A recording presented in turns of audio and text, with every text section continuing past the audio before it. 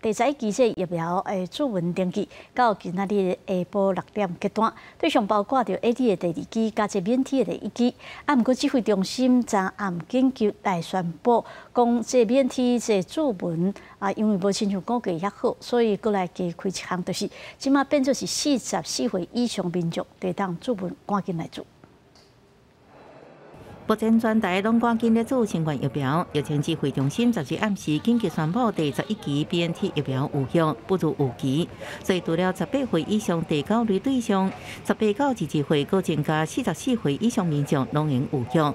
预约时间也延长到十三礼拜三下晡六点结束。医师表示，民众出现无必做的原因真多，啊，毋过整体来讲。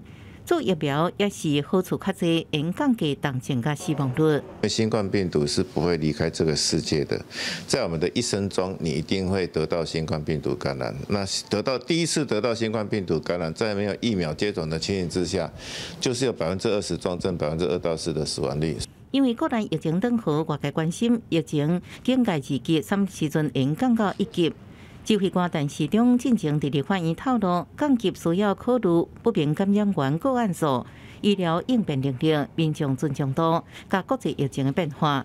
啊，毋过有专家认为，疫苗做两剂的注射率、甲逐工感染人数，则是降级关键指标。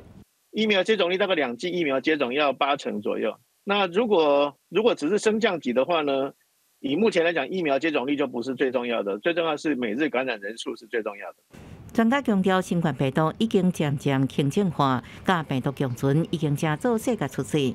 就算疫情境界降级，民众也将喙安挂好。